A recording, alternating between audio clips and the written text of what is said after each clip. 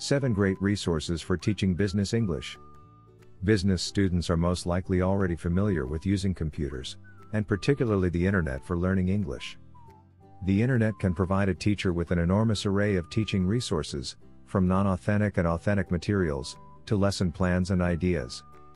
Here are 7 great resources for teaching business English at no cost to the teacher.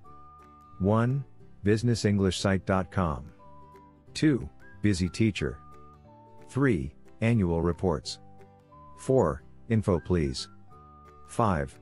Voice of America Learning English. 6. BBC Learning English. 7. UsingEnglish.com. Many of the resources mentioned above can also be extremely useful for online classrooms and tutoring environments. If students are using the internet to research a particular company, product, or even career path, they could also use the internet to present results from their research. These presentations could provide valuable listening and speaking opportunities for the students, and would enhance their online learning experience. Thanks so much for watching. We are ITTT, the leading provider for TEFL and TESOL training courses.